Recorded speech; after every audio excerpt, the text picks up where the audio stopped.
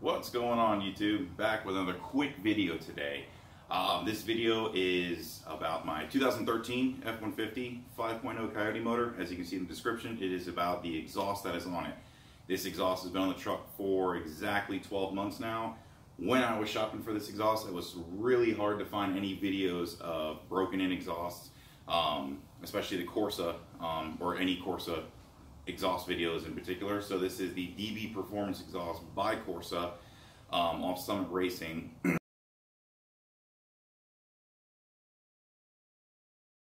the only difference between the DB Performance by Corsa and Corsa is the grade of or quality of steel they use for longevity purposes of rusting or um, you know oxidation. I don't know.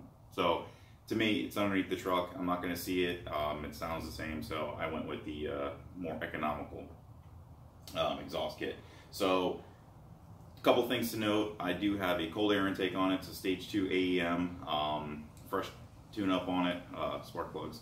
Um, the truck is running on E85 right now. I don't have the programmer uh, tune on the truck right now. It's in stock mode. Um, so again, the RPM range isn't going to be super, super high. This is going to be basically if you were to take your factory, you know, truck and throw an exhaust, this is the sound you're going to get. With the tuner on, you can rev it out a little bit more. It gets a little bit more aggressive uh, tone and a little bit raspier on the high ends. But for this video, it's going to be stock. Um, so again, cold air intake on the front. Um, the resignator has been deleted. It's not the delete kit. I had a pipe welded in from a local exhaust shop. Um, and then it goes back into the DB Performance um, by Corsa muffler. And then um, you'll also notice I have a black tip on there. My truck is uh, black everywhere. So the uh, kit came with a four inch chrome slash cut exhaust tip. So I got rid of that. Um, and I had this five inch tip laying around in the garage. So I went ahead and got that put on there uh, to go with the black theme. So we're gonna get jump right into it and uh, do a cold start up and a few revs, uh, wake up the neighbors, and we'll do that. So, so here is the truck. I'm not gonna show you the uh, intake or anything, but um, you can see underneath. I'm trying to walk and lay under here. So starting from the top of the engine, you can see that's where the resignator was removed. I have that pipe welded in right up there.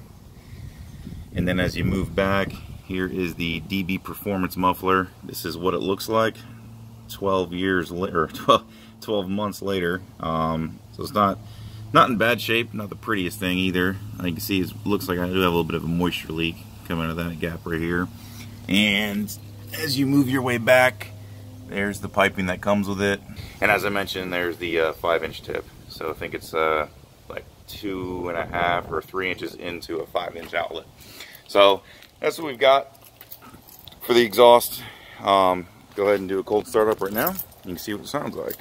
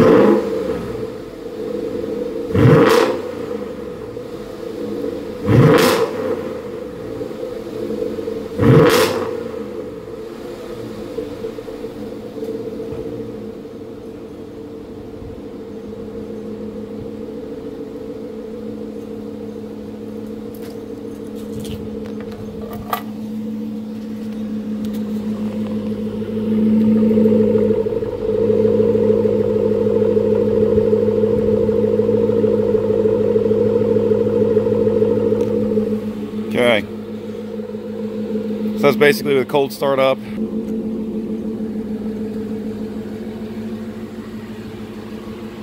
I'll do a quick walk around.